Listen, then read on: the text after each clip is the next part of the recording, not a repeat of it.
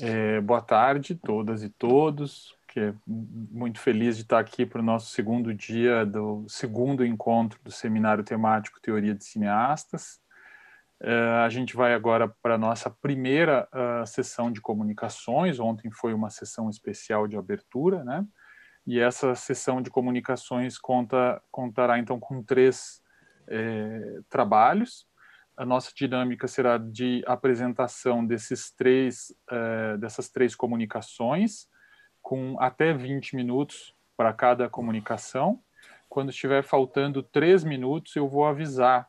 E nós chegamos à conclusão que, apesar de um pouco rude, eu vou ter que avisar por voz mesmo, porque quem estiver apresentando não vai conseguir olhar ali no chat e tal. Então, quando faltar três minutos, é, eu vou dizer, faltam três minutos, já peço desculpas antecipadas pela interrupção que eu vou ter que fazer, ou pelo, pela intervenção, né? É, que é para ajudar a controlar o tempo. Após as três comunicações, então, nós teremos um período de cerca de meia hora para debate, para perguntas. As perguntas podem ser enviadas uh, no chat do Zoom, para quem estiver na sala do Zoom, ou no chat do YouTube, para quem estiver na sala do YouTube e o, o, é ideal que comece com uma palavra pergunta em caixa alta, assim, para a gente ficar fácil de identificar, tá? Então, vou só falar aqui a composição dessa mesa, né? É, primeira, primeira comunicação chama-se A Tecnoestética de Kleber Mendonça Filho, quem vai apresentar é o Guilherme Pires, da Unicinos.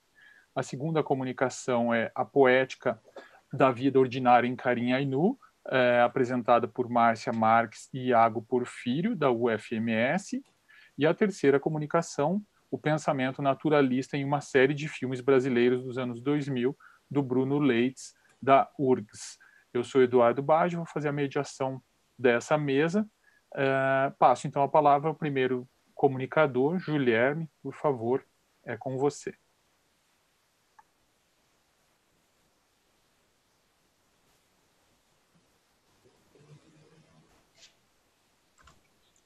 Boa tarde a todas e todos. Consegue ver a minha, a, a minha apresentação ali, certo?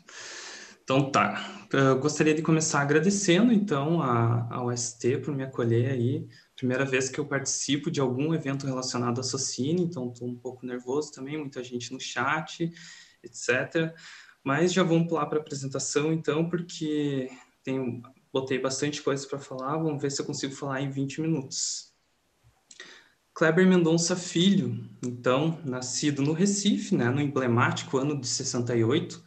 É importante falar que tem várias marcas do cinema dele que fazem parte da constituição da pessoa Kleber Mendonça. Eu acredito que ele seja um artista que entrega o que tem e o que é.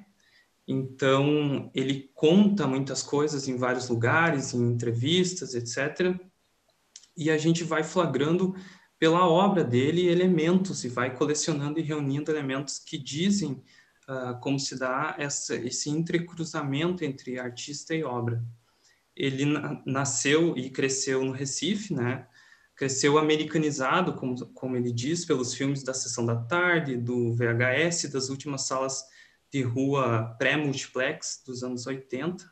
Ele é filho da historiadora Joselice Jucá, que foi aluna de Gilberto Freire, pesquisou abolicionistas, trabalhou como pesquisadora na Fundação jo, uh, Joaquim Nabuco e faleceu em 1995. Na adolescência, durante o doutorado que ela fazia, Kleber morou com ela em Londres e ela é tão importante para a obra do Kleber uh, ao ponto dele dizer que o som ao redor, o primeiro longa-metragem dele de ficção, é, de certa forma, uma adaptação dos escritos da mãe. Kleber cursou jornalismo na UFPE, por ser a estação mais próxima do cinema, onde ele fazia cineclubismo e escrevia sobre cinema. Em 98, foi convidado a assumir o departamento de cinema da Fundação Joaquim Nabuco, onde a mãe trabalhava, onde ele atuou como coordenador da parte de cinema por 18 anos, até a sua saída em função da carreira de cineasta em 2016. Chama atenção a sua carreira de crítico de cinema, conciliando a competência jornalística com o interesse cinematográfico, sendo inclusive esse o tema do seu primeiro longa-metragem, Crítico. Ele escreveu para vários veículos de imprensa, como o Jornal do Comércio do Recife. Dentre as suas principais atuações, esteve a cobertura do Festival de Cannes por 13 anos seguidos, a partir de uma relação muito próxima com a, com a Aliança Francesa no Recife. De suas coberturas restam inúmeros textos no, no blog Cinemascópio, uh, publicados entre 2008 e 2010. Esses textos mostram não apenas detalhes das percepções técnicas e estéticas de Kleber, como sua pro proximidade com a perspectiva francesa, o que se, se ampliou a partir da parceria com a produtora de seus filmes, que também é sua companheira afetiva, Emily Lesclos, e a partir de Aquários com o produtor Said Ben Said, da SBS Productions, ambos franceses. A história de produção cinematográfica de Kleber tem origem nos anos 90 com a popularização do vídeo. Os principais curta-metragens do Kleber são Enjaulado, A Menina do Algodão, Vinil Verde, que foi a primeira participação de Kleber em Cannes como cineasta, Eletrodoméstica, Noite de Sexta, Manhã de Sábado e Recife Frio, de 2009. Enjaulado já é um filme que dá o tom do interesse de Kleber. As discussões que ele trata nesse filme, de certa forma, são acolhidas nos outros e ampliadas também.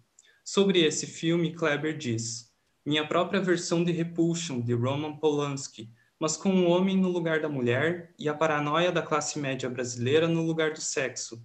Meu primeiro curta de ficção, feito em Betacam, alguns anos antes do digital chegar. Influências de Argento e Carpenter são quase um abuso. O longa-metragem, uh, os longas-metragens de ficção, então, de Kleber, são esses três. O Som ao Redor, de 2002, que estreou no, no Festival de Roterdã e teve apoio do Fundo Huber Baus, ligado ao festival. Aquários, de 2016, e Bacurau, de 2019, uma, uma direção conjunta com Juliano Dornelles. Embora esses três filmes, de uma forma ou de outra, sejam filmes de cerco, uh, os seguranças que, que vão cercando a rua em um som ao redor, ou a construtora que cerca o edifício em Aquários, ou os americanos assassinos que cercam a pequena Bacurau, uh, como o Enjaulado é, Aquários, ao meu ver, é um filme que a gente tem total uh, capacidade de uh, compreender a tecnoestética do Kleber. É possível entender Aquários como um filme manifesto, inclusive. Apresenta os elementos formadores da sua visão cinematográfica. A narrativa é muito simples: a moradora versus a construtora. Ela que luta para manter o seu apartamento pelo direito à memória, a centralidade está no conceito de arquivo, entre aspas. Arquivo, para Kleber, ele explica no Making Off de Aquários, é muito mais do que documentos, papéis. Cada pessoa é um arquivo, com a sua história de vida e tudo mais. Mas ele vai além disso. Dá para se dizer que cada aspecto, cada unidade, cada materialidade fílmica tem uma espécie de devir arquivo, ou seja, tem uma dimensão de profundidade temporal, ele vai deixando pistas da constituição de seu modo de pensar e de fazer o filme. A partir daí, nós vemos como se dá essa constituição tecnoestética e como as noções de forma e conteúdo são tensionadas por essa operação feita pelo Kleber. O Sonâmbulo Amador é um livro do José Luiz Passos, um escritor também pernambucano, Uh, nesse livro que aparece durante o filme, como uma das pistas que Kleber vai deixando, ou como uma referência, uh, o personagem desse livro ele vai narrando como acaba internado em uma clínica psiquiátrica durante uma viagem a trabalho ao Recife. Apesar da temporalidade diegética se firmar no presente, a narração se dá intermitentemente por meio de memórias, os personagens, os lugares, os objetos estão sempre inseridos na escala do tempo e as ações atuais mergulhadas no passado. Por isso, ele acaba enlouquecendo para o padrão social. Em Aquários, uh, não sabemos o que é sonho e o que é imaginação, em inúmeros momentos. O cara entrando no apartamento enquanto ela está dormindo, ou o fantasma da Juvenita, a fobia da classe média. Aqui, a, a Juvenita é uma, uma, personagem muito importante porque há uma conexão muito forte com o som ao redor, que também mostra um menino passando as costas dos personagens. Esse menino foi inspirado em um menino que escalava muros e árvores para roubar, que aterrorizou o Recife nos anos 2000. Aparecia nas páginas policiais, ficou muito famoso. Ambos os personagens estão com vestimentas que remetem à escravidão. Vejam como o tempo, a partir desses arquivos, assume características dramáticas, críticas, políticas.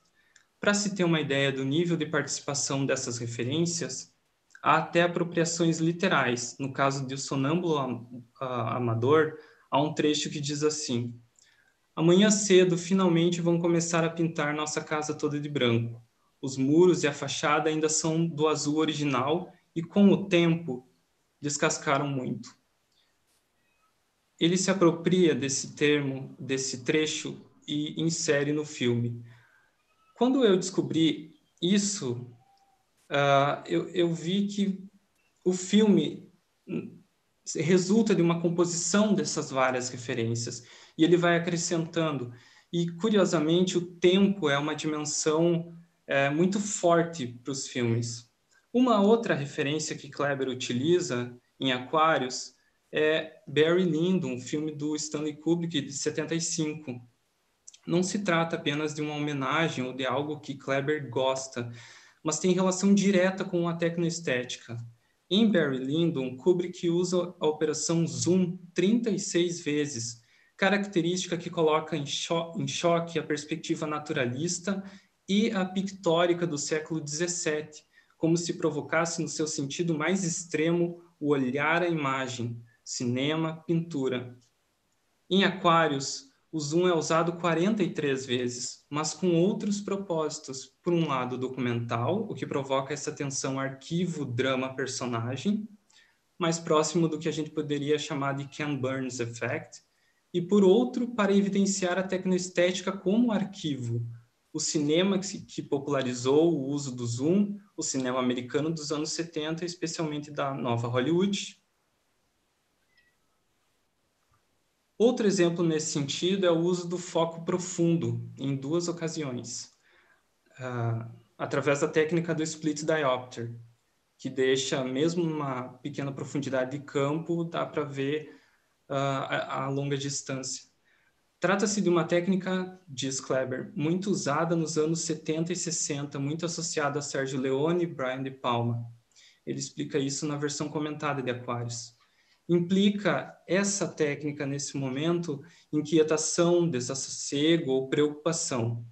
Aqui o exemplo é do filme de John Carpenter, uh, que Kleber faz relação nos seus três filmes com esse autor, sendo uma de suas principais referências, seja pela escola João Carpinteiro, ou seja pela própria abertura do Bacurau, que, que é muito parecida com o Enigma de Outro Mundo.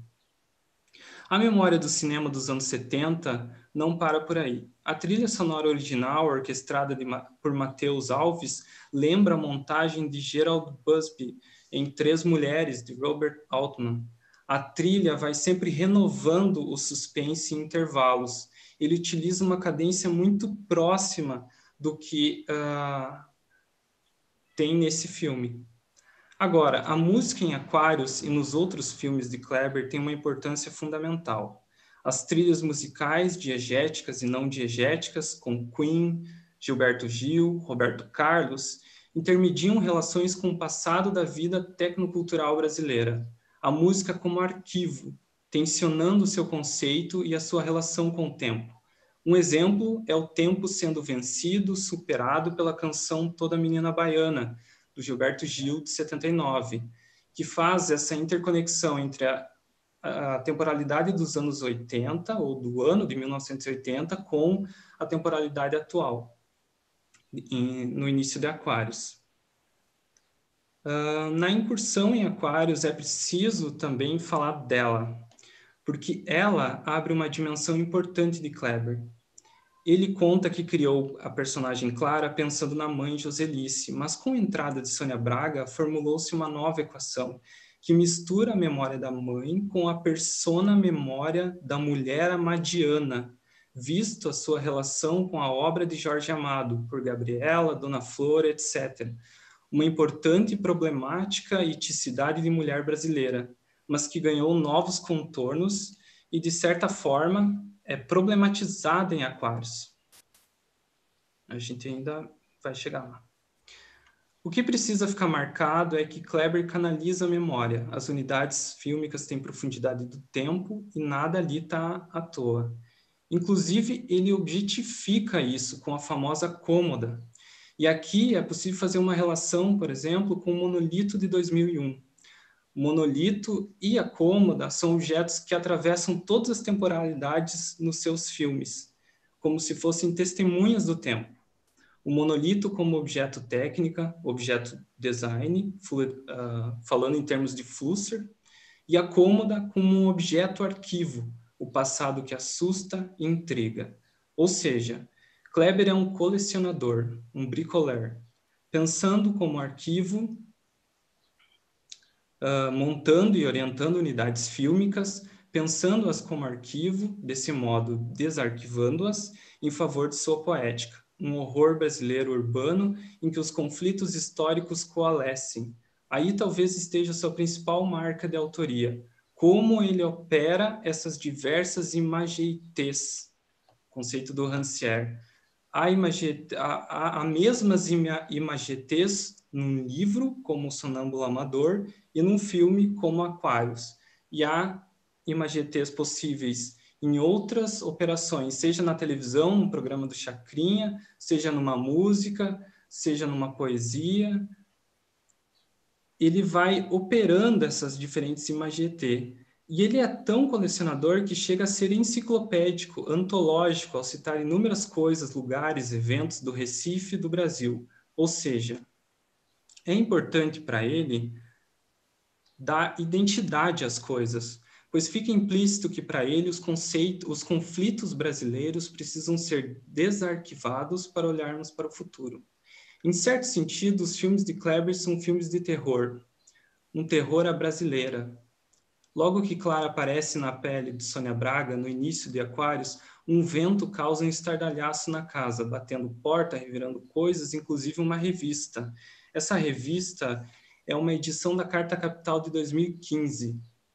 Se isso já era uma previsão, alguma coisa nesse sentido, quem sabe?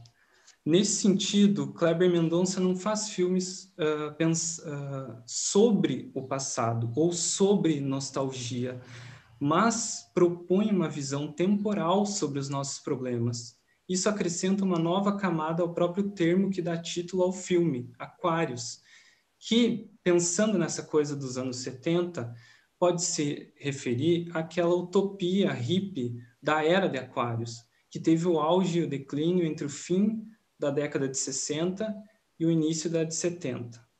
Desse modo, Aquários apresenta dois planos narrativos, a moradora versus a construtora e o hippie versus o neoliberal. Ao propor o, novo, o nome de Novo Aquários, Diego da construtora está tentando simular uma valorização, é a estratégia do cerco. Ao mesmo tempo, Aquários funciona como uma autocrítica a si e uma autocrítica ao cinema brasileiro. Numa cena mais ao final, essa da imagem, em que Diego uh, toma uma dura da Clara, ele faz uma crítica a ela, dizendo que sabe que ela veio de uma família de pele mais escura, como se criticasse a persona Sônia Braga e a branquização da mulher amadiana, representada por uma atriz branca paranaense, e lembrando que em obras como a novela Gabriela foram feitos testes, segundo Avancini, o diretor da novela, com 80 atrizes pretas antes disso, mas não contemplou nenhum ator preto no elenco principal, sendo que a novela se passa em Ilhéus, na Bahia. Com isso, Kleber... Três minutos. Com isso, Kleber propõe uma revisão em que nossos problemas sociais e culturais e midiáticos são os mesmos e devem ser analisados em conjunto. Vejamos como o filme chega ao seu clímax. As duas formas em que Clara consegue contra-atacar a construtora, por um lado, a lealdade por consideração dos empregados da Bonfim, que falam sobre os cupins no prédio, e o favor do velho amigo jornalista, com isso, Kleber está transformando algumas de nossas características históricas, o personalismo, evidenciado por Sérgio Buarque de Holanda, o favor, etc., em favores, em, em operações dramáticas, como Machado de Assis fez uh, no, e que foi evidenciado por Roberto Schwarz em Ideias Fora do Lugar e Manuel de Almeida em Memórias de um Sargento de Milícias, como evidenciado em Dialética da Malandragem, texto do Antônio Cândido com a questão da ordem e da desordem na sociedade. Mas Kleber opera sempre na ordem do tempo, procurando aproximar as épocas. A exemplo dos conflitos geracionais dos anos 60 e 70, muito marcados pela canção Pai e Mãe do Gilberto Gil. Para concluir, então, eu faria um comentário no seguinte sentido. Como um bom artista brasileiro, Kleber vem demonstrando uma atitude antropofágica de incursão na história da arte brasileira e de pesquisa tecnoestética, e desse modo vinculando-se a uma proposta de brasilidade, mas que não é a única, talvez seja a mais hegemônica. Quando se fala em brasilidade, se lembra dessa perspectiva, mas a gente tem chamado como uma perspectiva de brasilidade, o que eu tenho chamado na minha tese de tecnotropical. Num texto de Kleber para a revista Filme e Cultura em 2013, ele fez duas perguntas para si mesmo. Abre aspas. Com a presença desse cinema autoral e fantástico nos meus anos de formação, como mediar essas imagens com a minha identidade brasileira? Onde procurar espelhos para essa fusão entre o fantastique e a minha realidade? Acho que a essa altura ele já tem encontrado essas respostas. Mas se eu pudesse definir o cinema do Kleber até aqui com uma frase, ela seria: é um guisado com suco de caju e música americana. É isso aí, obrigado. Obrigado, Guilherme. Então, a gente uh, segue para a segunda comunicação, e aí quem tiver questões, comentários, vai aguardando ou já podem até ir colocando no chat. Agora passamos então para a comunicação A Poética da Vida Ordinária em Carim Ainu, da Márcia Marques e do Iago Porfírio, da UFMS. A palavra está com vocês. Obrigado.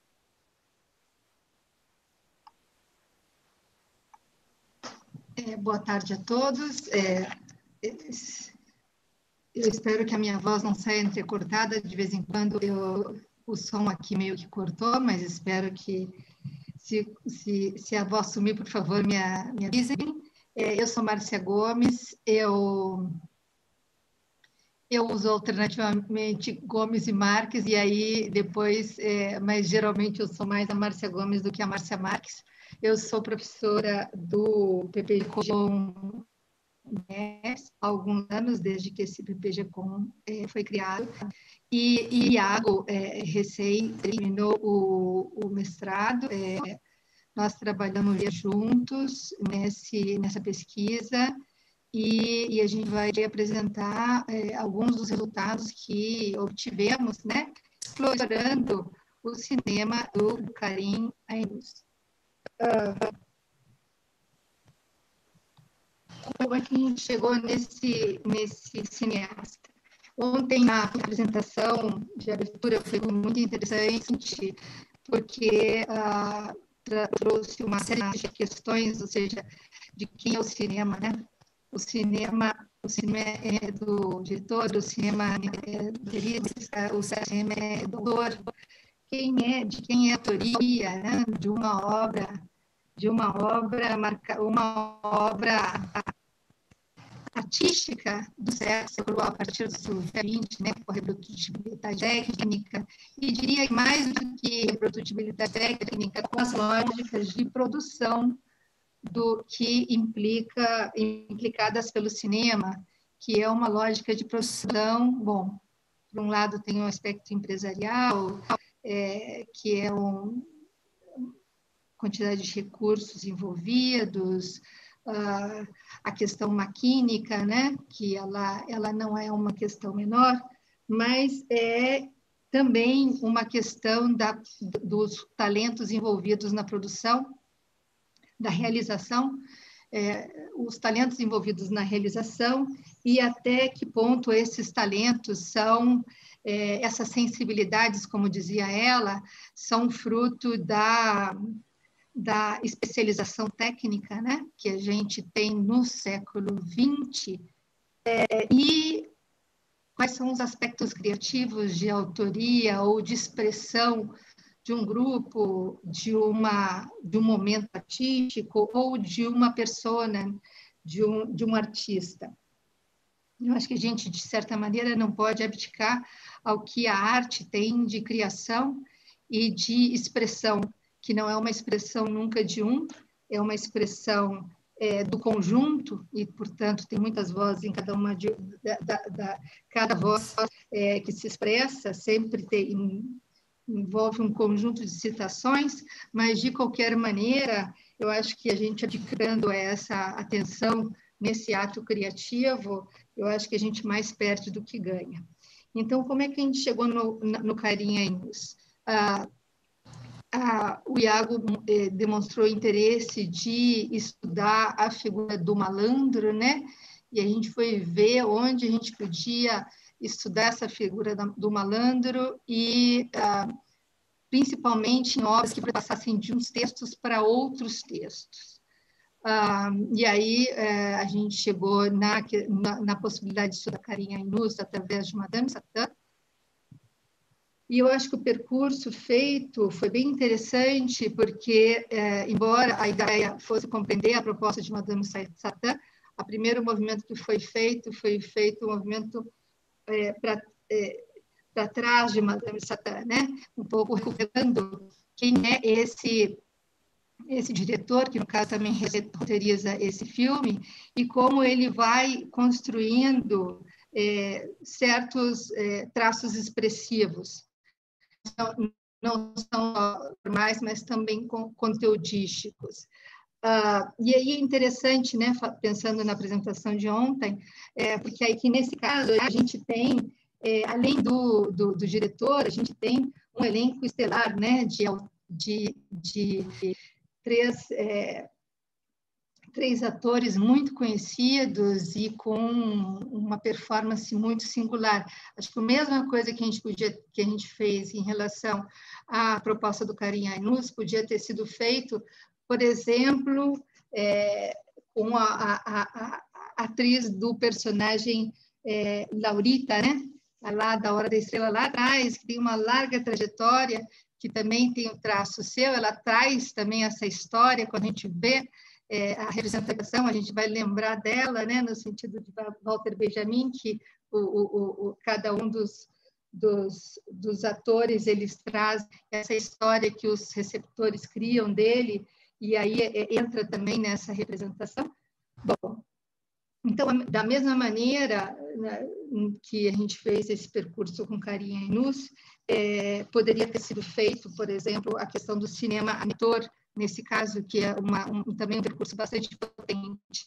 Ah, bom, é, quais são, como é que a gente vai dividir a apresentação? A gente vai dividir a apresentação é, primeiro falando é, uma das que, uma questão que nos parece bastante significativa nesse nesse filme é o Nordeste no filme e é interessante porque é uma presença sutil mas muito forte né pra, é, no nosso entendimento então esse é o primeiro ponto da discussão porque o Nordeste aparece tratado de uma maneira diferenciada é, e eu acho que eu vejo essa essa esse tratamento do Nordeste é bastante é, interessante. A segunda, a segunda etapa do, da nossa apresentação vai ser, então, através dessa, desse conjunto de obras do autor, que onde eh, fomos recuperar esses traços que não são só Veja, nosso, nosso interesse é bastante conteudístico, mas a gente, é, é, a, o, o, conteudístico ele vai no formal também, né? Ele vai no genérico, então não tem como dissociar, porque tanto como cinema, tanto como forma artística, mas também, o, o embora nós quiséssemos é, pegar mais a questão do cinema como é, elemento de proposição dos temas atuais, desde eh, visões eh, atuais como sendo de discussão das questões, eh, a gente né, não, não, não dá para deixar de lado a questão da forma artística. Bom, então, é, a segunda etapa vai ser através dessa, dessa, dessa rápida varredura desses elementos do, do, do cineasta é, buscados em outros filmes, né? Primeiro é, nos filmes da, nos curtas da década de 90 e depois em Céu de, o Céu de Sueli, Viajo porque preciso e volto porque te amo, né? Que foi feito em coautoria com Marcelo Gomes e Abismo Prateado e Praia é, do Futuro. Uh, então, agora o Iago vai começar com a primeira parte, mas eu queria, antes disso, acentuar é, que é uma, um, um elemento central para nós na estética do, do Ainus é a questão da experiência de vida, né? esse traço fenomenológico da abordagem né? do cineasta em relação à, à experiência, e é uma experiência também que tem a ver com essa, eu acho que até essa reversão que teve a partir dos anos 60, não só no cinema, mas nas artes em geral e também nas ciências sociais, né? Que é essa voltar, é, é, esse direcionamento do olhar para os personagens miúdos, para a vida cotidiana, para os elementos da vida ordinária como significativos e como é, eixos de desenvolvimento de projetos de, é, de é, projetos identitários, né? E projetos de vida, maneiras de ser, e, e essas maneiras de ser e projetos de, de identidade não abordados desde os grandes acontecimentos, da, dos, dos eventos eh, extraordinários, mas dos elementos vários miúdos é, supostamente insignificantes até então, inclusive para a história, né? Porque esse movimento de foco na, cotidianidade, na cotidianidade não é inclusive cinema, história, sociologia, é, é, esse, esse, foco do pequeno como algo significativo. Bom, é, a segunda, o elemento que também agora o, o Iago vai lembrar na questão do, questão do filme é a questão do, do pertencimento, né, que é uma, uma discussão que vem com essa tal de mundialização, né, mas principalmente com a transnacionalização da cultura, a partir das, da década de, de 80, a gente vê esse monte de gente diferente, né, é, e, e aí essa pergunta todo o tempo, porque a, a, nossos trajetos de identitários eles não estão prontos, a gente tem que fazer e renovar todos os dias esses projetos é, identitários, e, é, e, e, os personagens da, do Ainus, eles se desterritorializam, eles deixam para trás né, e partem, e vão, e fazem de algum outro lugar o lugar que eles é, vão viver dali por diante. Né? Em alguns dos filmes, esse é, é a cena só para essa partida, e outros filmes, no caso do Satã, já é um lugar que ele tomou para si como seu, né? que foi a Lapa, é, o centro do Rio de Janeiro. É, ok. É, e a, a, questão também é, do ser, né? e aí, no caso, uma abordagem fenomenológica do ser, né? como ser é, particular e ser genérico. Então, todas essas descrições dos personagens do Ainus, e aí tem todas essas minorias, todas as minorias, por exemplo, as mulheres muito fortes do cinema do Ainus, então, mulheres como mulheres particulares e mulheres às mulheres, como representante desse universo feminino e dessa das dificuldades vividas, né, por esses segmentos minoritários. Então aí tem o, o Madame Satã também, né, negro, analfabeto, homossexual, artista transformista. Então esses personagens que não se encontram num lugar onde eles não têm como determinar o seu rumo, senão que ele tem, eles têm que se enfrentar com o que está posto por, por outros. Eu vou passar, então, a palavra para o Iago. Iago. Oi, oi, boa tarde. Estão me ouvindo? Sim, estamos ouvindo. Tá, sim. É, rapidamente, eu gostaria de agradecer a oportunidade de estar aqui é, né, com vocês, malgrado essa situação de distanciamento. Então, como a, a professora Márcia Gomes é, explanou muito bem essa introdução. Eu vou passar rapidamente a questão do, do estilo cinematográfico do Cairim e a manifestação desse estilo nos aspectos estéticos, políticos e performáticos das imagens, né, indo desde o seu, do seu, das suas primeiras produções até as suas produções atuais, os longas-metragens. Então, a gente tinha, tinha programado uma contextualização do cinema novo, mas eu não vou passar por ele pelo andar da nossa, né, do, nosso tempo. Mas, assim, só queria dizer que no cinema novo, é, né, a partir de 1960, desde o seu primeiro, né, do, seu, do seu primeiro período, o cinema novo tinha a temática do sertão é, com muito enfoque, né, a partir do, das figuras do cangaço e do sertanejo, é, como uma maneira de representar a estrutura social, cultural e política do país. Então, eu começo falando aqui que, a partir dos anos 2000, esse cinema pós-retomada, de que fala Luciana Gibe, redefine a expressão da vida sertaneja não somente pela busca da identidade e territorialidade em torno da vida miserável e violenta, mas também pela resistência diante das relações de poder vigentes com personagens que estão em busca de si, como a professora Márcia Gomes disse há pouco, travando lutas de alteridade e situações de desterritorialização. Nesse sentido, eu cito como exemplo o Árido Move, do Lílio Ferreira, de 2005, Bastios das Bestas, de Cláudia Assis, Cinema, Aspirinas e Urubus, de Marcelo Gomes, ou mesmo Caminho das Nuvens, do Vicente Amorim, de 2013.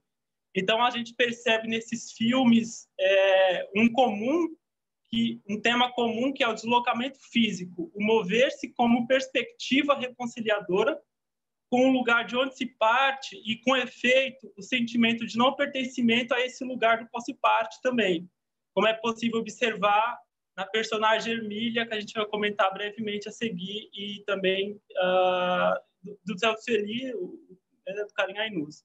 Então, no Carinha Ainus, a gente tem esse tema do feminino muito forte, esse né, esse sertão com outro, com outro viés, que não o, né, o sertão do Glauber Rocha ou de, do Nelson Pereira dos Santos, e a vida ordinária.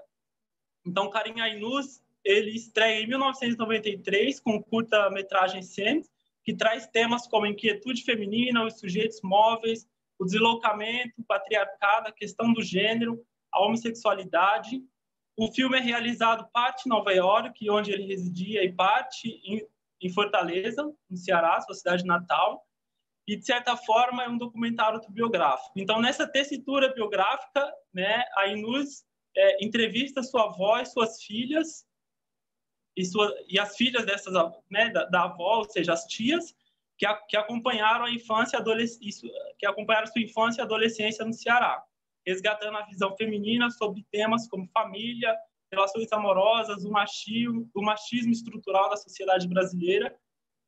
É, o curta também apresenta uma crítica a um certo padrão de masculinidade a partir de figuras masculinas que se fazem presentes no plano narrativo, como menção ou em fotografias, ou a questão dos arquivos, ou citadas nas histórias que são contadas, né? Ou seja, a questão de se fazer presente pela ausência mesmo.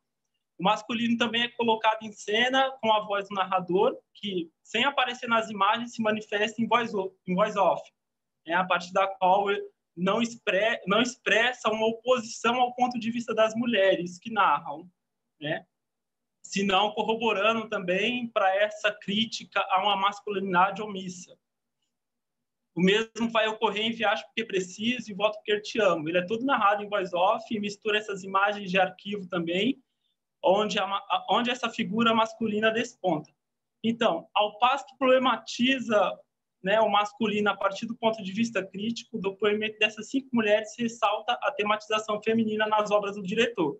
Então, o que a gente vai perceber nas obras seguintes: mulheres que lutam, de, de, que relutam dentre outras, outros desconfortos, a desconsideração, a invisibilidade e resistem aos cerceamentos ocasionados por uma sociedade machista e conservadora, é, como o Céu de Sueli, o Abismo Prateado e, mais recentemente, A Vida Invisível, de Euridice Gumão. A experiência feminina é abordada desde o cotidiano, que é interpelado nesses casos como lugar desde o qual o ser particular cria expectativas e traça seu percurso, cuja realização se dá em relação aos limites e possibilidades colocados pelas condições sociais concretas uh, desse contexto que se insere. Então, depois de Cinza, a Inus vai lançar a trilogia de curta-metragens Paixão Nacional, de 1994, que traz o tema da mobilidade do pertencimento muito forte, é, e que depois vai reverberar em outras produções. Então, só para citar, para a gente citar, pegar como exemplo aqui muito breve, o primeiro episódio dessa trilogia de curtas, Paixão Nacional 1, Choque Metabolo, Metabolo, Metabólico, perdão, Irreversível, que vai Iago, contar isso. Oi. Só para fazer o aviso, faltam três minutos, tá? Três, Desculpa. é, vou, tá, beleza, vou correr aqui. Então, nesse, nesse curta, uh, o, o vai trazer a questão, né? Uh, é um menino que, tra trabalha como flanelinha e morre congelado ao tentar fugir de um Brasil desigual, né? Escondido no compartimento de um avião. Então, no curta, o diretor anuncia seu estilo em personagens que estão presas em crises íntimas e precisam desviar de situações que as sufocam, sendo a fuga uh, como uma proposta ou como uma alternativa vislumbrada para a resolução dos conflitos. Então, nesse curta também, Paixão Nacional, o Carlinhos vai é, levantar um tema muito forte do seu trabalho, que é a questão da homossexualidade, né? E que a gente vai ver muito fortemente também no Praia do Futuro, essa questão de fugir da crise como uma alternativa de resolução de conflitos. É... Em 2000 é lançado Rifa-me, inspirado no cordel Rifa-se do, Abraão Batista, no qual o Cairins vai antecipar um pouco o argumento do Celso Eli. Então, resumindo, no Rifa-se, Ana Paula sofre as consequências de um casamento opressor no sertão cearense, é, e ela tem uma ideia né, para poder fugir dessa situação rifar a si mesma, tal como faz a Hermília em Céu do Sueli. Então, o local do, da rifa é um hotel dentro do posto de gasolina. Né? Então, nas imagens, é, na, termos cinematográficos e estéticos do Cairim, é, esse plano ele dá a ver essas questões a partir do plano geral, né? ou seja, um, um lugar muito amplo, e, e, e, nessa passagem do RIF a gente tem isso como exemplo. Então, o posto de gasolina que beira a estrada, né? ou seja, o sertão como lugar de passagem, como lugar de abastecimento, tal como faz o Zé Renato, é, do Viagem Porque Preciso, né? Então, que ele procura um lugar para abastecer o seu carro e para se desfazer sexualmente. Ou o Árido Move, por exemplo, também, né? É um grupo de amigos que vai para o interior pernambucano e que param também num posto, beira de estrada do sertão, para poder se divertir.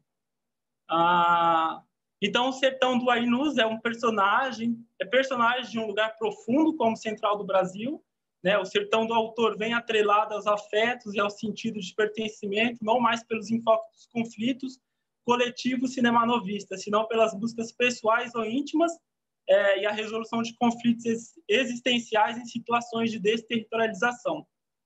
Tem algum minuto mais aí?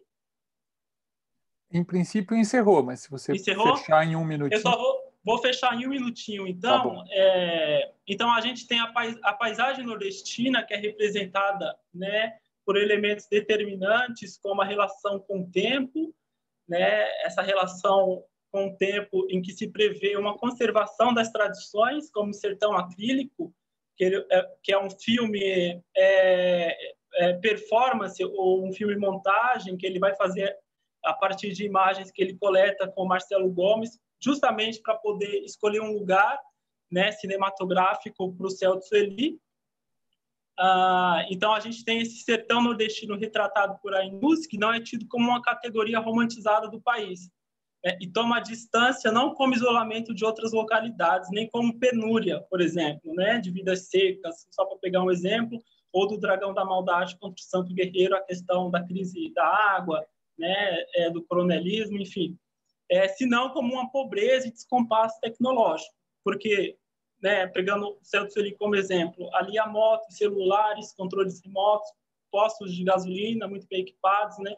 Então a penúria nesse sentido é problematizada desde o emocional ah, no pessoal e de perspectivas de horizonte de vida, trazidas ao espectador desde as paisagens e linhas de horizontes pró, propostas, né, assim em planos gerais, como o Celso Sueli. É, então é isso, assim, só para finalizar. Desculpa ter cedido um pouco um tempo. Tudo bem. Uh, a, a, gente é sempre, sempre em duas pessoas é até mais difícil, né, de gerenciar. Obrigado por vocês terem atendido aqui. Uh, e agora agradeço, antes de mais nada, né, a, a comunicação da Márcia e do Iago e passo agora a palavra ao Bruno Leite, que vai apresentar a comunicação O Pensamento Naturalista em uma série de filmes brasileiros dos anos 2000. Também vou avisar quando faltar três minutos. Bruno, com você. Obrigado, Eduardo. É... Vocês estão vendo a minha tela aí? Tá ok, Eduardo? Me ouvindo bem? Tá. É, qualquer coisa me avisa, viu? Eu... É uma alegria estar tá tá aqui nesse evento, ver esse evento é, sendo, sendo realizado, né, conhecendo pessoas novas e, enfim, vamos, é, vamos lá. Eu trouxe para para essa edição do Encontro de Teoria dos Cineastas um, um, um, trabalho sobre o pensamento naturalista em uma série de filmes brasileiros nos anos é, 2000. Tá?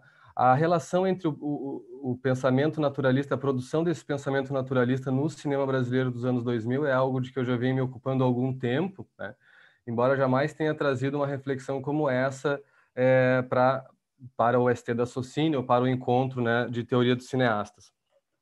Normalmente, algo que chama atenção, é, pelo menos no, no, no ST Teoria dos Cineastas, da Socini, é um foco majoritário em pesquisas que se dedicam a observar o pensamento e a teoria em cineastas individualmente considerados, né? Então, uh, o pesquisador, a pesquisadora vai lá, determina um cineasta e aí pode uh, fazer a pesquisa uh, buscando conhecer o pensamento ou, ou, enfim, a teoria, se a gente for trabalhar com essa diferença como propõe o Jacomon, e, e evidentemente, aí tem um, uma série de, de métodos, de instrumentos, de abordagens comparativas, transversais, etc., que nesse universo vão ser acionadas no seio de cada pesquisa individualmente considerada. A figura do cineasta é algo bastante sensível, né? É, e de alguma forma até um, uma reflexão contínua que é feita dentro da teoria dos cineastas. Eu, eu refiro inclusive é, um lá nos textos que deram né, um pontapé inicial, digamos assim, dessa, dessa abordagem no contexto da Socini e da AIM, o Eduardo Baggio, a Manuela Penafria, o André Rui Graça, é, tendo esse esforço de pluralizar essa figura do cineasta para dissociá-lo da, da figura do diretor. Né? Então a gente vê lá é, o cineasta como quaisquer pessoas no processo produtivo que tenham funções criativas. Né? Isso está lá desde o início, é algo que se mantém nos, nos, textos vinculados à teoria dos cineastas. A gente tem, por exemplo, um, um, uma linha de investigação é, colocada em curso pela Patrícia Iuva, por exemplo, é, no sentido de pensar esse, cineasta como uma função cineasta, né? É, talvez se inspirando na função autor de uma dada tradição da semiótica, é, etc. Ontem a Cecília Salles comentou a ideia do artista, né? Enfim, é, do cineasta como uma rede, né? Como um, já, já um, um, coletivo de vozes, né? Embora é, é, que se expressa uh, por meio do, do, do, do cineasta. É, enfim, uma série de questões que são questões que a todo tempo a gente vai revisitando. Eu gostaria nesse trabalho de enfatizar uma, uma, uma outra tendência que existe, que é presente, que, que esteve presente no nosso ST, que é essa tendência de pensar teoria e pensamento é, em um, uma série de cineastas, né? um coletivo, um agrupamento mais ou menos é, organizado, mais ou menos coeso, uh, mais ou menos contemporâneo. No meu caso aqui, se destaca a contemporaneidade desses, é, é, desses cineastas e desses filmes. Tá? É, eu fiz um, um pequeno levantamento do nosso ST da Socini nos quatro anos, né, que, que ele aconteceu de, até agora, de 2016 a 2019. Tivemos ao todo 70 comunicações. Dessas, 53 foram dedicadas à pesquisa uh, sobre pensamento e teoria de cineastas individuais. Tivemos sete trabalhos dedicados exclusivamente a questões conceituais, né? é, pensando as fontes de pesquisa, relação entre enunciados verbais e, e uh, o sensível nas imagens, a função do pesquisador na, na, na, teoria dos cineastas, etc, etc.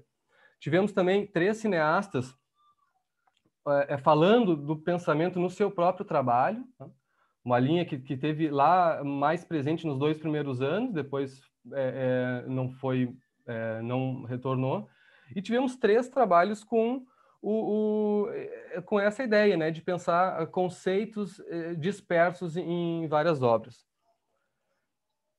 Bom, gente, tem um 4 ali, sem nada, não foi uma falha não foi um erro de cálculo para formar os 70, né? Embora não seja da matemática, esse é um cálculo fácil, mas é que é quatro trabalhos que eu sinceramente não, não, não soube classificar, porque eles é, é, retomando e, e né, relembrando dos trabalhos apresentados, eles aparentemente estão numa fronteira quase saindo da teoria dos cineastas, né? Trabalhos, enfim, mais históricos, biográficos, de, de, de, análise fílmica, enfim. Por isso eu não, não, não, não tive, não consegui classificar dentro dessa pequena proposta que eu fiz aqui. É, dentro desse, só para só é, focar um pouco aqui, uh, os, os, três trabalhos né, que apresentaram, um deles buscando esse, um conceito de amador, ou, ou amateur, né, uh, em cineastas experimentais, Brackett, Maya Deren Jonas Mekas, um trabalho buscando essa ideia, o conceito de trópico em filmes manifestos. A, a, Ivana, na ocasião, trabalhou com filmes do cinema marginal brasileiro e trabalhos. É, é, o Lucas é, é, analisou uma série de cineastas e de filmes estruturais é, é, buscando um conceito de, de, cinema e minimalismo, fazendo, fazendo uma relação dessa ordem, é, o trabalho do Lucas. Mas então são os três trabalhos que é, foram apresentados nesses termos que eu comentei com vocês. Esses dados, eles nos dariam a ver outras, outras tendências, outras linhas de força, que acho bastante pertinentes, mas não, não é o momento aqui, é, eu preciso é, seguir adiante, porque eu também tenho um outro objetivo, né?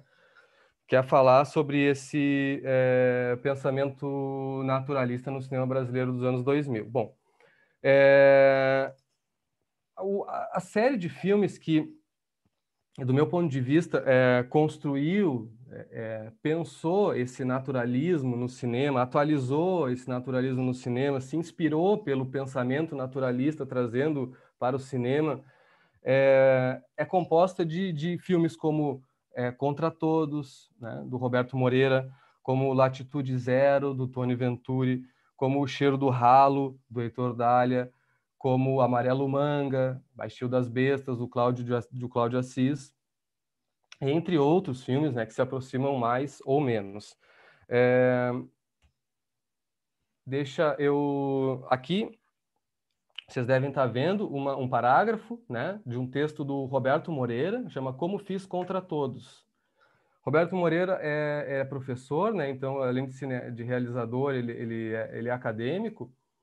E esse texto é bastante relevante, assim, eu acho bem, bem curioso, assim, porque é um texto que é, ele, ao mesmo tempo, ele se, poderia ser de interesse para a crítica de processo, porque toda uma reflexão do cineasta sobre como ele fez o filme, as, as influências, como ele operacionalizou a formação da equipe, etc, etc. Mas também para a teoria de cineastas, porque ele, ele vai relatando, expressando a, a, a, os pressupostos né, que, que o levaram a filmar naquele lugar, daquela maneira, etc, etc.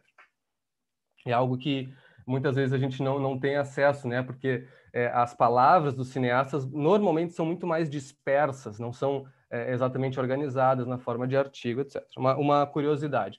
Mas uh, algo a ser destacado é que nesse parágrafo, embora o Roberto Moreira esteja falando de especificamente do filme Contra Todos, ele é um, um, um pensamento que se articula é, é, e, e, se refere e, e denuncia um embasamento uh, para essa série de filmes que eu estou falando, o pensamento naturalista de modo geral.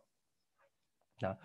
É, contra Todos, eu não sei se, enfim, talvez os mais jovens não tenham assistido e, talvez tenha ficado muito para trás, né, da, da, da, das, das, pessoas que assistiram na época, etc.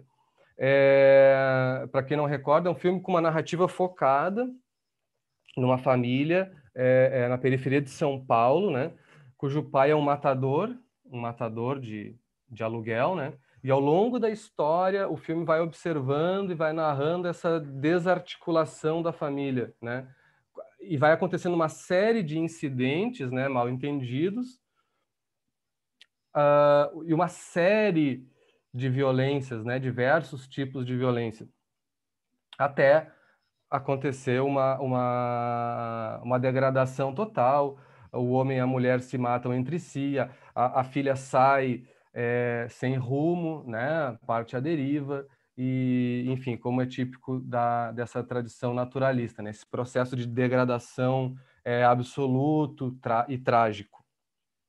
Bom, é, viver à margem embrutece e desumaniza, né, nas palavras do, é, do Roberto Moreira. Né?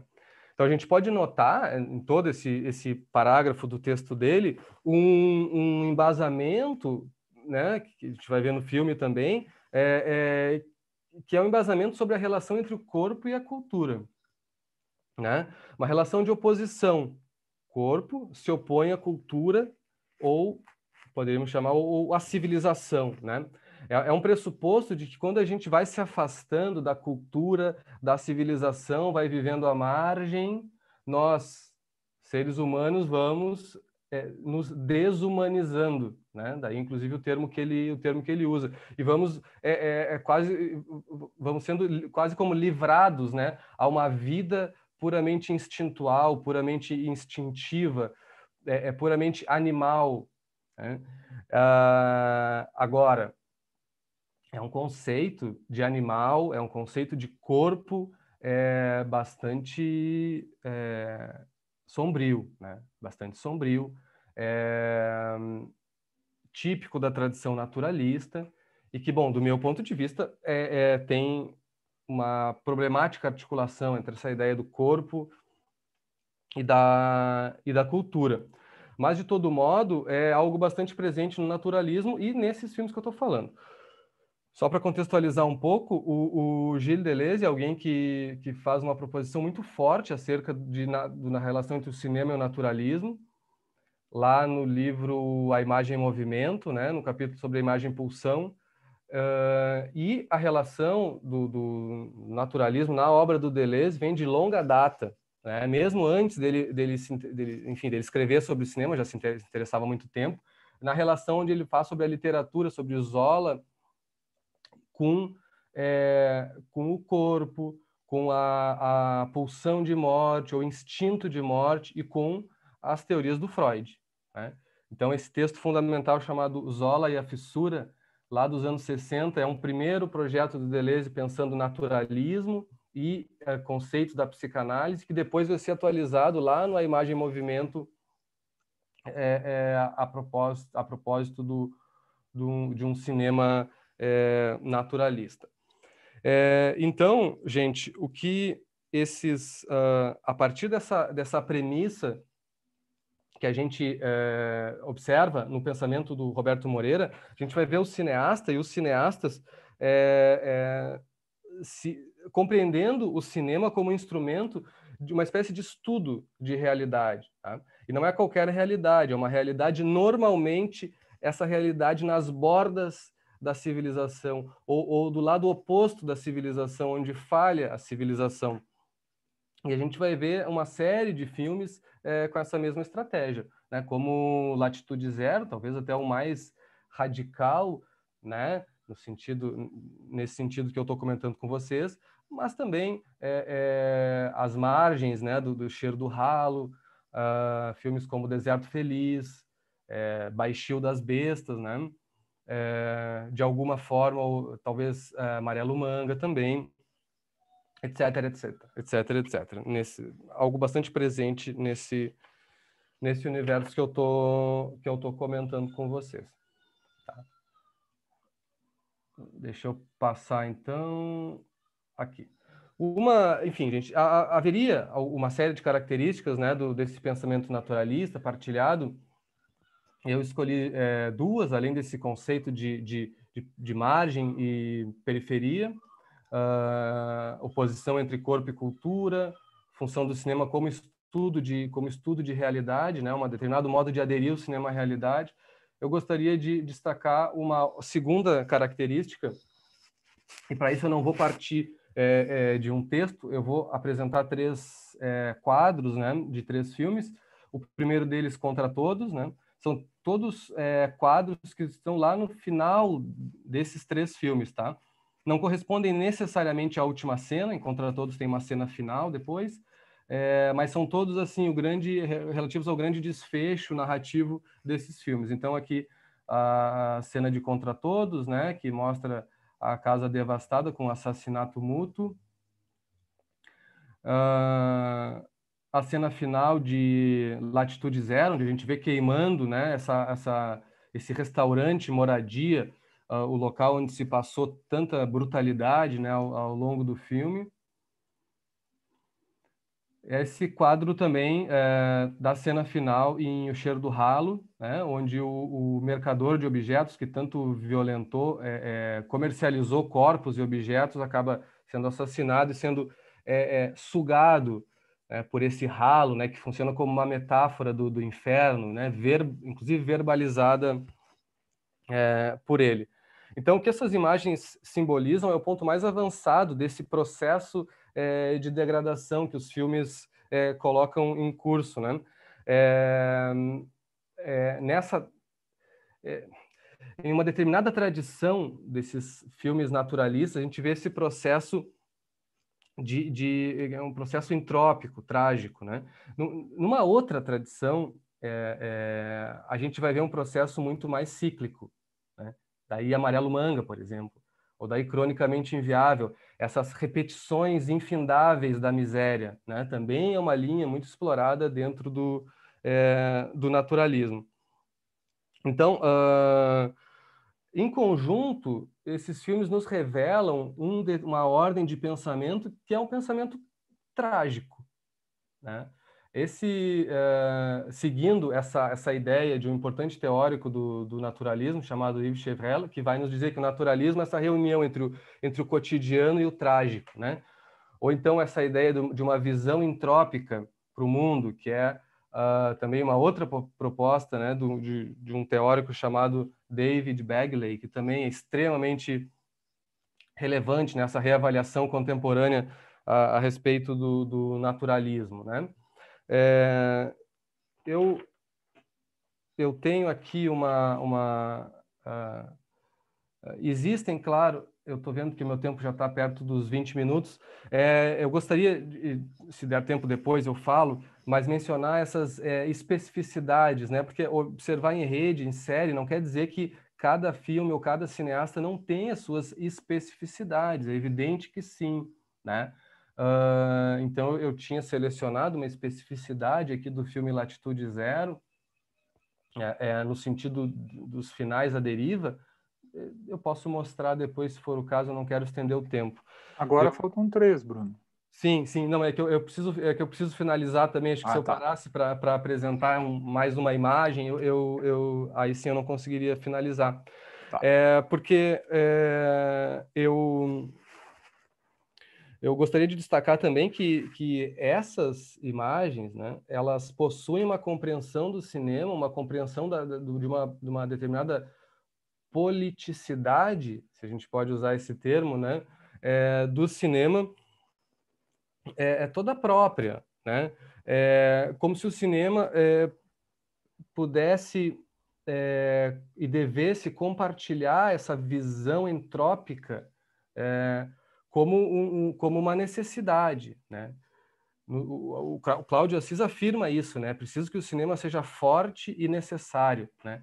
Então é uma é uma é uma politicidade da imagem, é uma confiança de que é, é, passando adiante essa visão entrópica uh, e baixando baixando essa energia vital, né?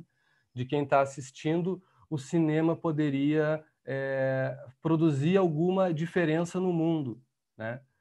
por meio de, primeiramente, um processo de, de, uh, uh, de afronta à, própria energia vital das pessoas, dos espectadores, que a gente poderia, eventual, é, é, se referir também como uh, segundo o vocabulário do desejo, né? Que, que, que, nesse sentido, eu acho que só vale a pena mencionar um projeto que está, talvez, no, no extremo oposto desses é, filmes naturalistas, né, esse conceito naturalista, que é um projeto colocado em marcha pelo, pelo Didi Berman recentemente, é, é, chamado Levantes, né? Uh, enfim, foi uma exposição, depois gerou uma publicação e, e o Didier Oberman faz todo esse pensamento, coletando imagens, é, montando um grande atlas, né, um, um, grande mapeamento de imagens é, buscando imagens que estimulam essa força política do desejo, né? contra exatamente para escapar da pulsão de morte. Então a gente vai ver imagens com uma política pautada no levante, olha, é possível se levantar, é possível estar em marcha, é possível né? uma politicidade então bastante radicalmente diferença de toda essa essa politicidade baseada na morte que a gente viu com bastante ênfase nessa fase é, é, do cinema brasileiro. Eu, agora sim, para finalizar e tentar ficar no tempo, eu, eu busquei aqui é, trazer um, um, apresentar alguns traços né, desse pensamento naturalista que, que, do meu ponto de vista, floresceu no cinema brasileiro, sobretudo na primeira metade dos anos 2000, e optei por destacar esses dois aspectos, né?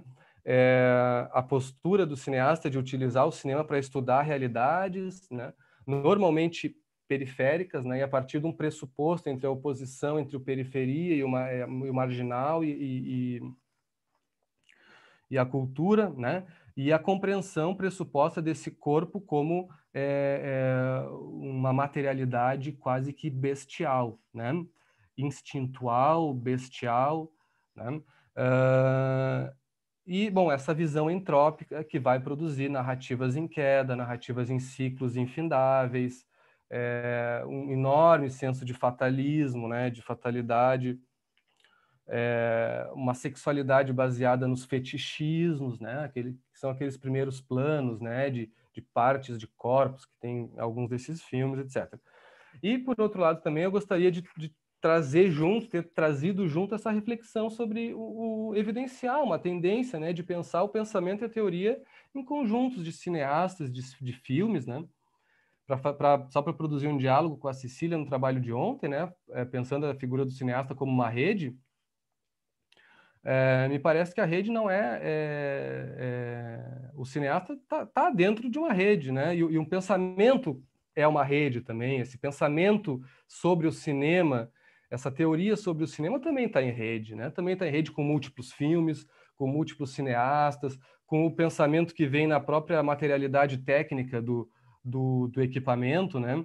A ideia do, do, do Flusser, né? Que, que a Cecília é, tem recorrido. Então, uma série de pontos, eu não estou falando também nenhuma, nenhuma novidade, mas, um, uma, um, mas é uma tendência, um campo que, enfim, a gente, eu acho que deveria é, considerar e prestar atenção e investir no campo da nossa da abordagem que a gente vem tentando colocar em marcha.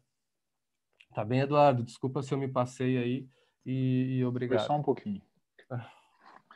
Então, uh, quero agradecer a última comunicação do Bruno Leites. Sem perdermos tempo, vamos passar para as perguntas, né? Já temos várias perguntas. É, um pouco de forma unilateral aqui, porque não era um combinado, mas eu vou propor, vou fazer ah, um bloco de três perguntas, uma para cada uma das comunicações, porque nós já temos várias, e aí vou pedir, não, não é a ideia de colocar um limite de tempo, porque seria chato, mas pedir para que dentro do possível vocês tentem uh, responder de uma forma um pouco ágil, para que a gente possa rodar as outras perguntas também. Então vamos lá. Uh, primeira pergunta é para uh, é da Ana Maria, feita via YouTube, para uh, o Julierme. Né? É, como você analisa a classe média brasileira problematizada nos filmes do, Kleber, do Kleber sobretudo em O Som ao Redor? Uh, aí, uma segunda pergunta para uh, o Iago e a Márcia, que é da Talita Bastos, né? e ela coloca aqui para o Iago, Baseado nas referências citadas e nas questões colocadas em sua apresentação, mobilidade, pertencimento feminino, você acredita que a questão do realismo, tal qual pensado por Lúcia Najib, ou mesmo uma, uma ideia de representação da realidade, ser, é, está presente na filmografia de Karim Ainu? Uh, posso, ah, eu ia ler que ela pode fazer em voz alta também, né? E uma terceira uh, pergunta agora para o Bruno, pergunta vinda do Gilmar Hermes. É, mais do que naturalistas, esses filmes não seriam uma estética expressionista por enfatizar aspectos mórbidos do cotidiano social? E aí a gente já tem mais outras perguntas, mas primeiro passo a essa rodada, uma para cada comunicação, pode ser na ordem da comuni das comunicações. Classe média no cinema do Kleber Mendonça, é bom lembrar que o próprio Kleber, dá para se dizer que ele classe média, e o Som ao Redor foi um filme gravado na casa que o Kleber morava na época. Então tem uma coisa meio autoficção e, e percepção uh, mais para o lado do absurdo e do horror, porque ele percebe uma classe média muito aterrorizada.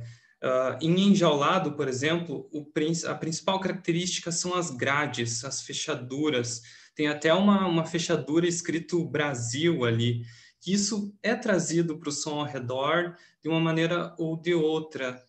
Uh, o principal aspecto que eu diria é a questão de como o, o que é esse som ao redor, né?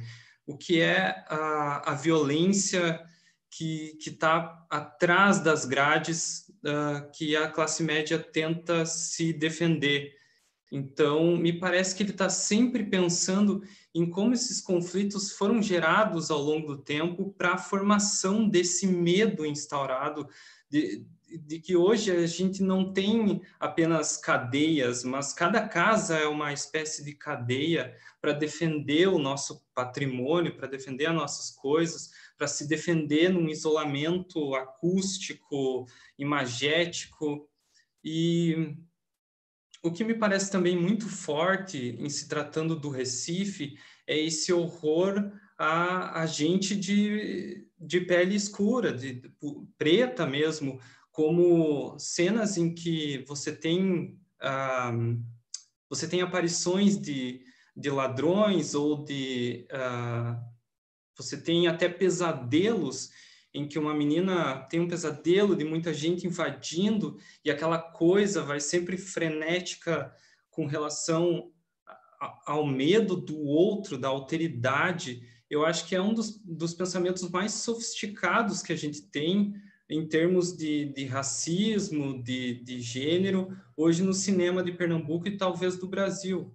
Porque o que a gente vê acontecendo hoje institucionalmente já estava uh, sendo desenhado pelos nossos artistas, já era uma percepção e não é à toa que Kleber hoje é um dos cineastas mais prestigiados do Brasil internacionalmente, nacionalmente, porque ele conseguiu captar algo que, que poucos conseguiram, assim, sobre a nossa classe média. Ok, obrigado. Podemos passar ao Iago. Oi. É muito boa a pergunta. Eu, eu acredito que sim, porque o cinema do Kairin Arnuz, ele traz justamente essas questões é, que são muito caras a esse Brasil, né, é, de, da, né, da década de 2000 para cá, o dito esse Brasil moderno. É, e eu acho que uma questão interessante que a gente vai é, observar, sobretudo nos longas, aí eu pego que né, dois, dois, dois exemplos, que é o Céu do Soli né, e, o, e o Viajo Porque Preciso e Volto Porque Te Amo, que vai pautar justamente essas questões mais intimistas dessas personagens, ou seja, esse desconforto, essa falta, né, é, é, essa, é, essa falta de ligação com o lugar, de modo que, né, que, que ela, ela permaneça ou que crie ou que vislumbre projetos é, específicos de vida ali, é, vão estar muito muito forte é, na obra do Ainus. Então, Sueli a gente tem, né, essa forma, esse desejo de uma vida nova, né, da jovem é, Ermila, que é abandonada pelo namorado com o filho, né, no sertão é, no sertão cearense, e ali ela ela passa uma temporada em São Paulo e já traz algumas questões ali é, né, que estavam muito em movimento na capital paulista, né? E ela fala, não, isso é moda em São Paulo e por que que não é moda aqui, né? Mas também já traz algumas questões assim que foram que foram sendo, né, é, é, pautadas nesse nesse outro sertão, né? Nesse outro Brasil, ou seja, é, acho que para falar claramente a questão das políticas públicas mesmo, né? Que, né? que a gente percebe aí um desmonte em torno disso. Então você vê ali a família que consegue comprar uma geladeira, né? Então a gente percebe aí essa essa coisa miúda, essa coisa né do ordinário da vida cotidiana mesmo. É, a questão do acesso a esses aparatos tecnológicos, né? como a, gente vê muito forte é, em, em Celso ali. Então eu acredito que sim, né? Respondendo essa essa pergunta aí na esteira desse estudo da Lúcia Najib. Ok. Professora, professora Márcia, quer complementar? Ah, desculpe. Não, imagina. Okay. Posso complementar rapidamente? Claro. Ah, essa, essa questão da, do cinema como é, representação, aí, aí tem, um aspecto interessante que cabe ressaltar. Por exemplo, Madame Satã, é um livro, é, é um, um cinema baseado numa história real, né? E aí eu aproveito e faço a, eu, eu retomo aquela relação triádica que o Isser coloca, algumas pessoas dizem Isser, eu prefiro a, a pronúncia Isser, é, é da ficção com a, com a realidade, com a imaginação, né? Então, o cinema, ele tem uma ancoragem na, na realidade, é, porque afinal a gente está aqui, né? A gente está nesse mundo, mas o cinema também tem um compromisso com a imaginação. Essa a ficção, ela pendula de um lado para outro, né? Então, mesmo no caso de um filme no caso baseado aí claramente num personagem, inclusive é, notório da, da cultura do Rio de Janeiro, que é a Madame Satã, né? É um personagem praticamente da cultura.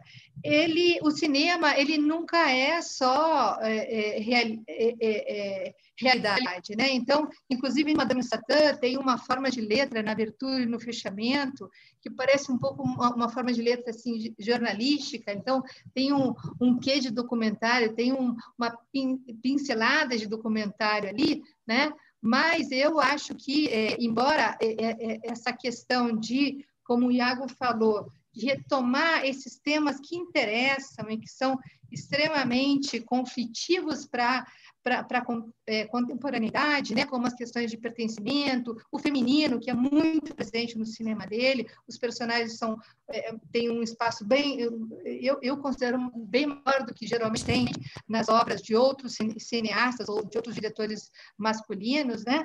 Uh, as obras, ainda quando é, ainda quando uma obra, obra baseada, ela é também imaginação. Então, no começo de Madame Satã, por exemplo, começa com uma música de carnaval, que foi quando ele ganha o título, né?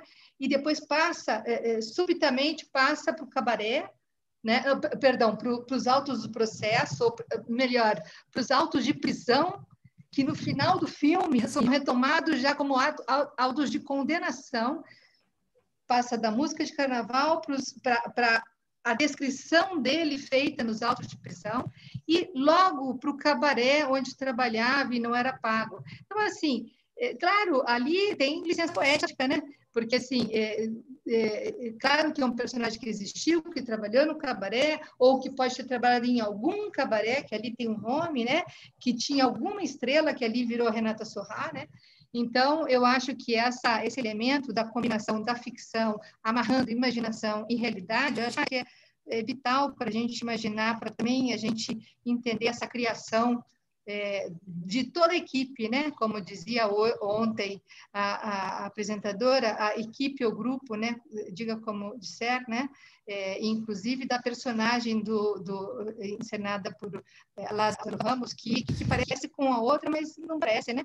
É, é, é, é ele, né? Tá? Para toda a história. Obrigado. Então, vou passar o Bruno para a resposta. Oi, é... Gente, eh, obrigado pelas, é, pelas questões.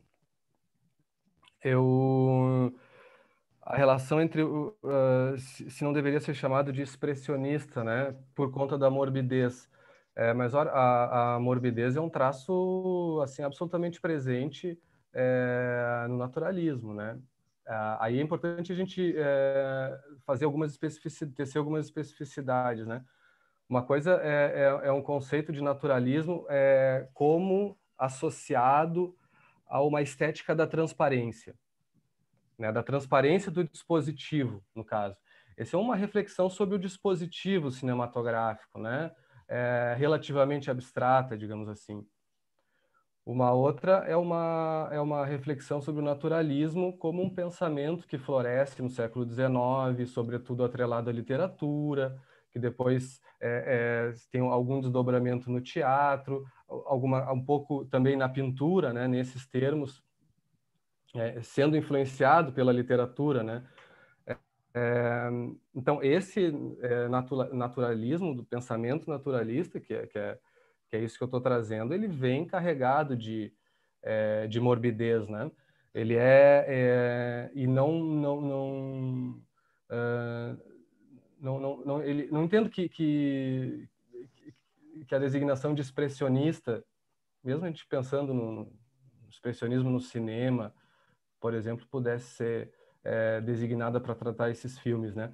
Esses filmes têm um, um, se portam como um estudo de realidade contemporânea, né? Cineastas que vão a campo se colocam como, como até como pesquisadores, né? Esses filmes têm um pensamento trágico, né? pensamento entrópico, uma relação com, com, com, com, o próprio conceito de pulsão de morte, né? que surge é, é quando é, entra é, definitivamente essa ideia via Freud, no início, é, já, já, estamos no início do século XX, tá?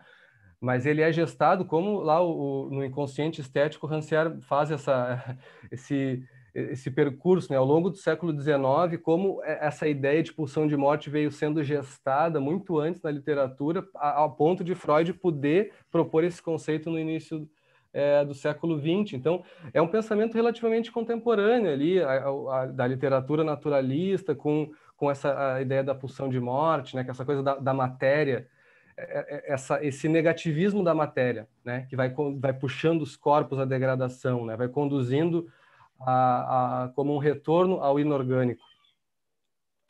E tem um aspecto de sensacionalismo, né? É, o naturalismo ele, ele, ele tem vertentes vulgares, assim, é, é, jornalística, vulgares, pornográficas, né?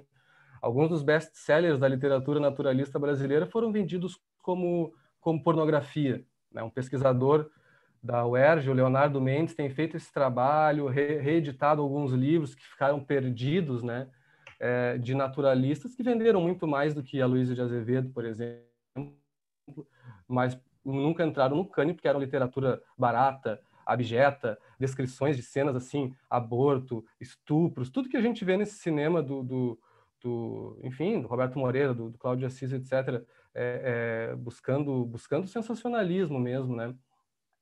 Buscando chocar. Né? É, então, não, não vejo como, como uma relação com o expressionismo, embora eu, eu, eu, eu entenda eu entendo a pergunta, né? mas me parece que, que, que, a relação com o naturalismo, essa atualização no vocabulário, nos termos, na estética, no projeto, é, é muito mais.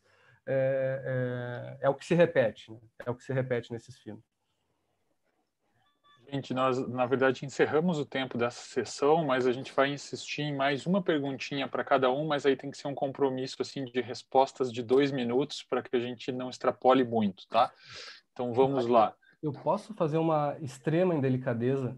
É, é porque eu tenho aula às 18h30 e eu, e eu falei para os estudantes que eu ia me atrasar, mas eu não poderia me atrasar mais do que 15 minutos, né? Essa hora já devem estar falando mal de mim. Tá. É, será que eu posso responder primeiro? Vamos, vamos. Se a Márcia, o Guilherme e o Iago não se importarem. Pode ser? Tá. Então eu vou fazer, é, vou fazer as três perguntas, né, mas aí o Bruno responde primeiro, tá? Então a pergunta uh, do Jamer para o Guilherme. É, fiquei curioso em relação ao, te, ao termo tecnotropical que me parece potente para pensar a obra do Kleber, então acho que é para explicar um pouco do termo. Uh, uma pergunta aqui da Thalita. Opa, deixa eu me achar aqui. É... Desculpem, gente. Da, da Thalita para o Bruno. É, gostaria, estou fazendo fora da ordem, me desculpe. Gostaria de entender se nas suas reflexões sobre pensamento naturalista você chegou a pensar sobre a noção de choque do real e da estética do choque desenvolvido por Beatriz Jaguaribe. Estou perguntando porque esses filmes que você está apresentando me lembram muito a reflexão de Karl Erich Schollamer, uh, sobre o realismo afetivo e sobre as representações da violência no contexto do Brasil contemporâneo, e mesmo a ideia de realismo naturalista, que me parece uma outra forma de nomear esse pensamento naturalista. Faz sentido essa conexão para você? Qual seria a, rela a relação entre realismo e naturalismo nesse recorte de filmes que você apresenta? E aí, Uh, uh, eu só falei fora da ordem, uma pergunta do Marcelo Carvalho para a Márcia e para o Iago. Vocês falaram em questões fortes no cinema de Karim Ainu, como Nordeste, eh, os projetos identitários, o gênero, as des- ou reterritorialização, ah, o não pertencimento, etc. Vocês acham que a cotidianidade teria preponderância entre as demais questões, uma espécie de liga entre as questões? Então, começando pelo Bruno, e vou pedir essa é, certa rapidez, apesar das perguntas um tanto complexas. Tá, é, Thalita, é, obrigado pela, pela pergunta. Eu acho que o, o, o trabalho da Beatriz é, é bastante é, é, importante né, nesse pensamento né, das estéticas do real, é, nessa mesma época. E ela faz uma, uma especificação sobre o, o dentre os, os realismos sobre o, o naturalismo, né? Falando inclusive do Cláudio Assis, né, como recupera as teses naturalistas para pensar o, cinema, né, como um tipo de realismo. Agora ela não entra tanto nisso, ela, ela, ela não entra tanto no detalhamento, assim, é, é, ela fala algumas poucas páginas sobre esse tema é, no livro dela. E ela coloca no mesmo leque é, de realismo naturalista filmes que me parecem extremamente diferentes, como Amarelo Manga e Cidade de Deus. Né? É, então, uh, sim, eu estou de acordo com, com as reflexões dela ali nesse ponto específico, no que tange Amarelo Manga, mas não me parece que sejam filmes equivalentes e, evidentemente, partilham conexões, mas não, não, não, não designaria Cidade de Deus como, como um filme é, naturalista, ou pelo menos dessa mesma ordem, né? Talvez utilizando uma ideia de naturalismo de abertura, essa é uma ideia bastante, bastante poderosa também, que o Ismael Xavier utiliza para designar, para classificar é, alguns filmes do cinema brasileiro do final dos anos 70. Aqueles filmes do Hector Bagbenco, né? É, Lúcio Flávio, O Passageiro da Agonia, o Ismael Xavier tem esse conceito de naturalismo de abertura, a gente estava na, na né? é, da reabertura democrática. É, eu, eu, me parece que, que essa ordem de filmes, Carandiru, é, Carandiru, Cidade de Deus, é, etc., poderia ser compreendido nessa esteira do naturalismo é, de abertura. Com relação à relação entre realismo e naturalismo, eu não, não, não é, é, é, me parece que a gente tem que ser bastante específico, né? São termos bastante escorregadios, né? É, é, muitas vezes a gente evita usar, inclusive, porque são escorregadios. Mas eu não, eu não, eu não tenho nenhum problema em usar essa designação de realismo, é, realismo naturalista, né? É, só eu, eu, eu sigo essa tendência de trabalhar com uma especificidade do naturalismo, né? Essa, especific, essa especificidade envolve, sobretudo, um pensamento trágico. Eu estou falando de trágico, tá? Mas, mas, eu próprio utilizo muito mais essa, essa via deleuziana relacionando com a pulsão de morte, tá? Mas é, importantes autores têm trabalhado com a ideia do trágico cotidiano, da visão entrópica, enfim. Essa é uma definição que, que via de regra, não consta nas definições de, é, de realismo, tá? E, a, e essa questão da, da, da, da estética da sensação, né? A relação com a crueldade. O Fernão Ramos tem uma ideia de, de naturalismo cruel, né? Como, esse, como, é como, como, mas como um procedimento, esse procedimento que, que, quer, que quer incomodar, que quer constranger. E que o naturalismo, mesmo, mesmo a ideia do naturalismo afetivo, é, é mais ampla do que isso, né? É, é mais ampla do, do, que isso. E com relação a. Eu, eu não fiz um estudo comparado, tá? Com relação a, a o naturalismo do, do, do, né, do, século XX com cinema marginal e cinema novo. Então, eu não fiz um estudo comparado. Me parece que características naturalistas estão lá também. No entanto, é, não me parece que a gente pudesse falar em bloco de cinema novo e cinema marginal sobre esses termos. Né? O, o naturalismo não faz alegoria como, como estratégia central. Né? É, o cinema, mesmo o cinema novo, tem tantos, é, tantas vertentes dentro do cinema novo, é, algumas épocas, né, é, que tornam um pouco mais complicado. Me parece que um, um, se a gente fosse usar uma ideia de realismo, é, estaria talvez mais adequada, né? Mesmo as adaptações lá do Vidas Secas, por exemplo, já estão nessa tradição, já vem dessa tradição é, realista. E do cinema marginal, é, é, me parece que é um, um, outro tratamento com relação ao objeto, ao, ao abjeto, né? É, no, no, naturalismo tem essa, essa vocação jornalística de, de uma, uma, tentativa de contato, de ampliação com um público mais amplo, uma, uma questão de, de em muitos cineastas, uma questão de, de, da beleza, né? Então a gente pega os filmes do Cláudio Assis, é uma virtuosidade, né? É, não é cinema marginal essa, essa é, é, é, embora o Claudio às vezes se, se, fale como marginal eventualmente, mas tem toda uma apuração estética, um gosto pelo belo ali que não está no cinema marginal em boa parte do, do, do, naturalismo. Então acho que é uma comparação válida, no entanto ela não é, ela é não me parece que seja é, é, tão facilmente realizável. Entende? É isso que eu gostaria de, de enfim, de afirmar. Ok, vamos passar então para o Julier. Bom, obrigado pela pergunta, Jamer. Isso tem a ver diretamente com a minha tese, porque quando eu vi uh, o Aquarius pela primeira vez, e ficou essa ideia de, de ser uma.